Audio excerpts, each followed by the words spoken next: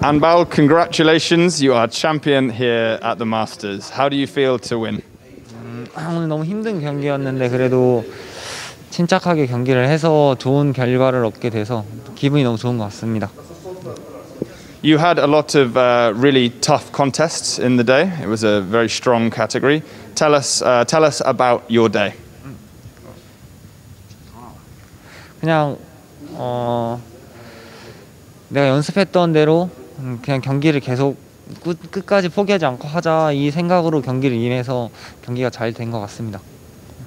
Uh, the technique in the final, Sionagi. Tell us about this technique and uh, the moment of victory.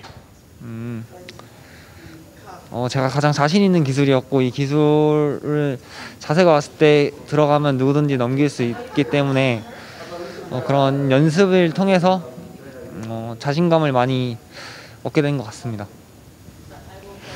Uh, Kim Lin won. You and him both are fighting for the Olympics.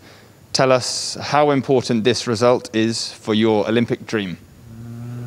어, 그 김리한 선수가 있기 때문에 제가 더 열심히 서로 경쟁하면서 하기 때문에 어, 서로한테 더 도움이 되는 것 같고 올림픽 뭐 금메달을 위해서 뭐 최선을 다해서 열심히 준비해야 된다고 생각하고 있어요.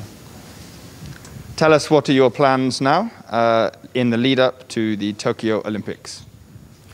지금처럼 뭐 제가 올림픽을 금메달을 위해서 준비를 차근차근 하고 뭐 한, 차근차근 한다면 뭐 좋은 결과를 가져올 수 있을 거라고 확신하고 있습니다. Thank you very much.